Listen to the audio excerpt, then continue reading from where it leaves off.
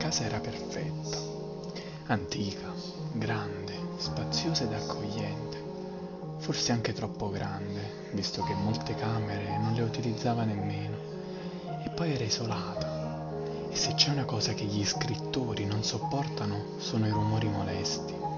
Sì, la casa gli piaceva, c'era solo un particolare che non lo faceva stare sereno, lei.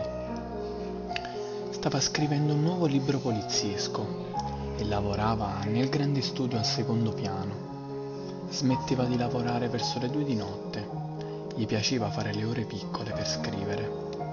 La sua camera da letto si trovava in fondo ad un lungo corridoio su cui si affacciavano diverse camere, le quali erano quasi tutte chiuse a chiave, a parte una. Era un elegante salottino per il tè, ma essendo lui un uomo moderno e pratico non l'aveva mai utilizzato e perciò il primo giorno l'aveva chiuso come le altre stanze.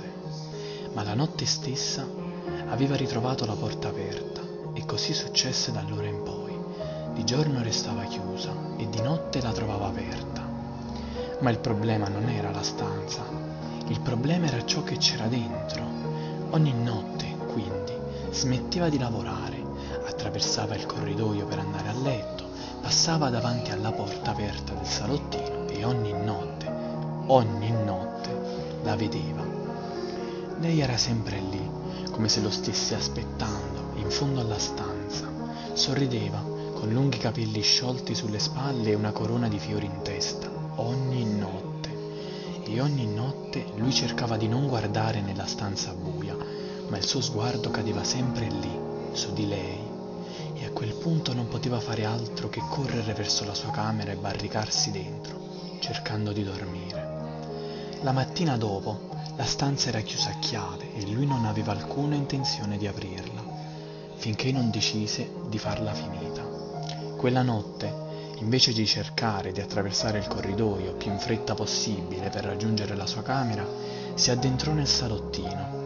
Lei era lì, ad attenderlo come una sposa fedele. Si fermò a pochi metri di distanza ed esclamò Cosa vuoi da me?